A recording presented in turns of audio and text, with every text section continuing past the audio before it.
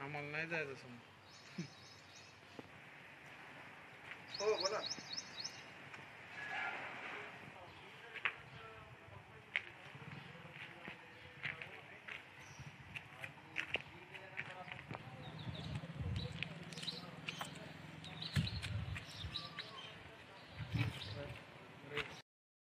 आज कोरोनाचा प्रादुर्भाव पाहता शहर शहरी विभागामधून आज ग्रामीण विभागामध्ये सुद्धा कोरोनाचा प्रादुर्भाव भरपूर प्रमाणात झालेला आहे.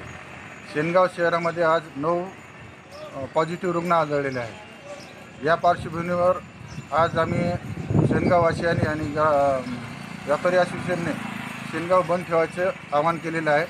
तर सर्व जनतेने आज ते शंभर टक्के पाळलेलं आहे. त्यात को कोविड नाईन्टीनमुळे एक शेनगाव एका पेशंटचा मृत्यूसुद्धा झालेला आहे.